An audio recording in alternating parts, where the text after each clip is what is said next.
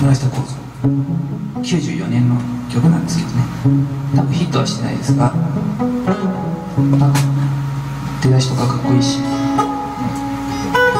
ードのある曲なんでちょっと2人で仕上げてみましたが。はい。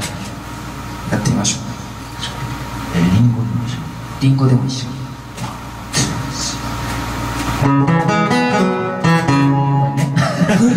初めてだからちょっとドキドキしてそうそうドキドキちょっと気合が入りすぎたりね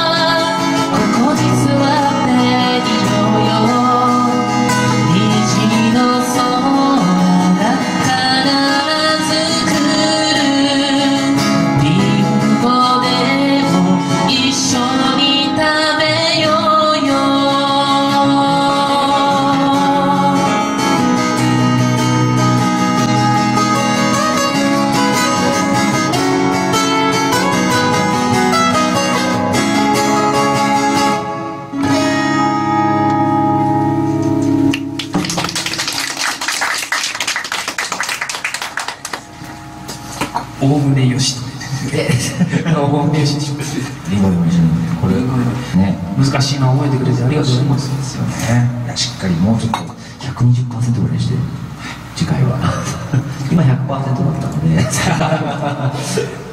はしっかえー、チョッパーさんどうですかねいかがでしたかねうまくいきましたかねリハから見てますからねりありがとうございます甘い採点でもうこっち側みんな甘いって感じ。今日は甘い甘い。ね。古いな。古いとか古くもないし新しくもないし。僕らみたい？な僕ら。えーね。残り5分ということでね。あと1曲か2曲っていうことで、ね、あそうなんだ。ここの事情がありますからねアンコールのリクエスト曲はこれの次にやるとして 一曲。これ以上はえー僕がずっと歌ってたんですけど、えあの横取りしようと。ルカ君が練習してるって。ね。練習まあ練習してないんですけど。練習してないです。よ ちょっとやってみましょうか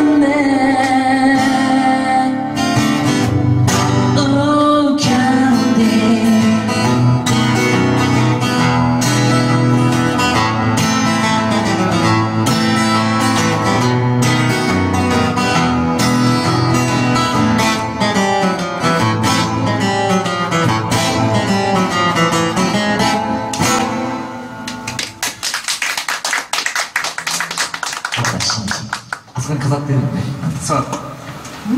あのジャケットを、えー、キャンディが入っているファースト。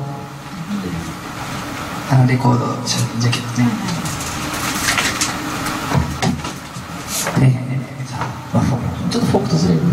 そうちょっとフォークとは言えないかもしれないけど。うん。拓郎が、え2番目ぐらいにねプロデュースした。うん。あそうか2番フォーライフレコードというレコード会社を作って1番目がまあ川村優子っていうね風になりたいという。白い花が男では最初かもしれないですね。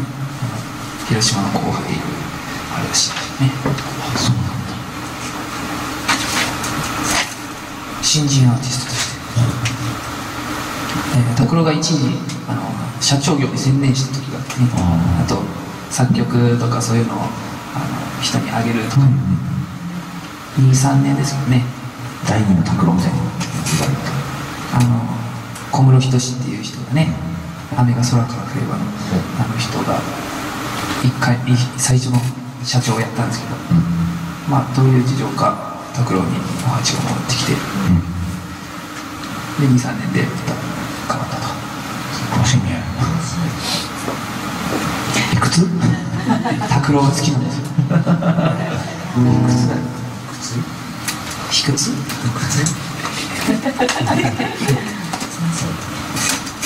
か怪しい薬とか。コナン的な？コナン的アポトキシン的な？若返り若返り。本間丹田とかねうんちくとかすごいっすよねなんかね。そうですよね。うんちくがすごいよ。なんか高崎のイメージに近いですよねまあね広島の坂崎幸之助と。お。いう気はする坂崎幸之助でいいんだ。でいいんだ。でいいのかいいのか